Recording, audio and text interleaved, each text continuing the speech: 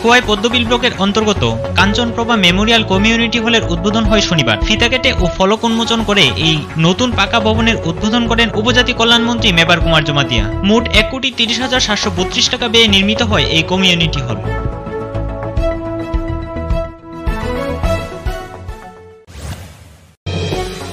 ভয়াবহ অগ্নিকাণ্ডে সম্পূর্ণভাবে নিঃস্ব হয়ে গেছে আগরতলা কাটা শেওলা এলাকার এগারোটি পরিবার। শুক্রবার গভীর রাতে কাটা শেওলা এলাকায় আগুন লেগে যায়। কীভাবে আগুনের সূত্রপাত তা জানা যায়নি। খবর পেয়ে ঘটনাস্থলে ছুটে যায় ফায়ার সার্ভিসের কর্মীরা।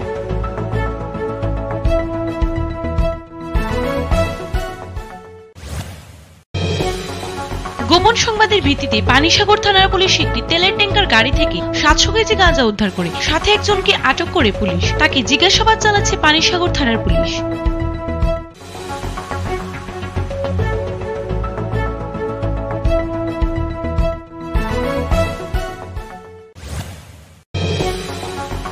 বিদ্যুৎপৃষ্ট হয়ে মৃত্যু হলো এক শ্রমিকের। ঘটনা শান্তিরবাজার মহকুমায়। শান্তিরবাজার কলসিরমুখ বাজার সংলগ্ন এলাকায় পৌঁছানোর সময় নদীর উপর দিয়ে চলে যাওয়া তারের সংস্পর্শে মৃত্যু হয় দুনঞ্জয় ত্রিপুরার। এলাকায় শোকের ছায়া।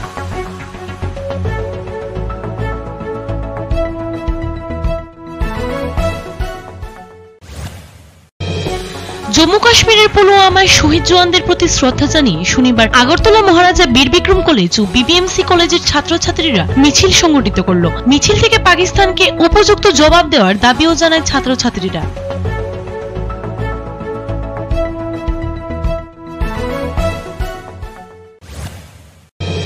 গভীর রাতে আগুনে ভস্মীভূত একটি মারুতি গাড়ি ঘটনা তেলিয়ামুনার থানাধীন নেতাজিনগর এলাকায়। কিন্তু কেবাকারা কারা গাড়িতে আগুন লাগিয়ে দেয় তা নিয়ে ধোয়াশা। পুলিশ একটি মামলা নিয়ে ঘটনার তদন্তে নেমেছে।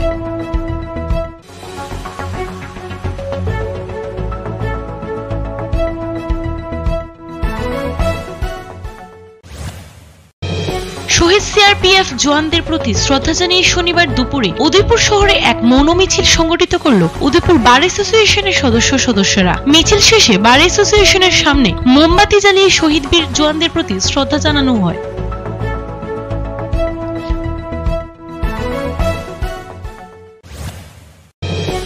গোপন খবরের ভিত্তিতে অভিযান চালিয়ে অবৈধ বনজ সম্পদ উদ্ধার করল বিশালগড় বন দপ্তরের কর্মীরা। শনিবার সদরের ঋষি কলোনিতে বনদস্যুদের ডেরায় হানা দেয় বন দপ্তরের কর্মীরা। অভিযানকালে প্রায় পাঁচ লক্ষাধিক টাকার সামগ্রী উদ্ধার করে বিশালগড় বন দপ্তর।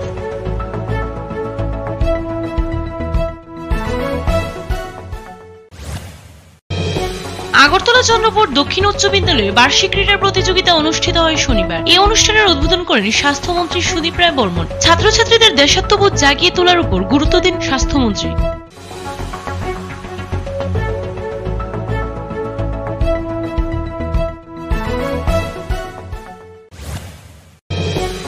মুঙ্গিয়াগামী বাজারের আগে আসাম আগরতলা জাতীয় সড়কে আচমকা একটি গাছ ভেঙে পড়ে, যার ফলে রাস্তার দুপাশে আটকে যায় বহু গাড়ি। প্রায় এক ঘণ্টা স্তব্ধ ছিল আসাম আগরতলা জাতীয় সড়ক। পরবর্তী সময় স্থানীয় পূর্ত দপ্তরের হস্তক্ষেপে স্বাভাবিক হয় জাতীয় সড়ক।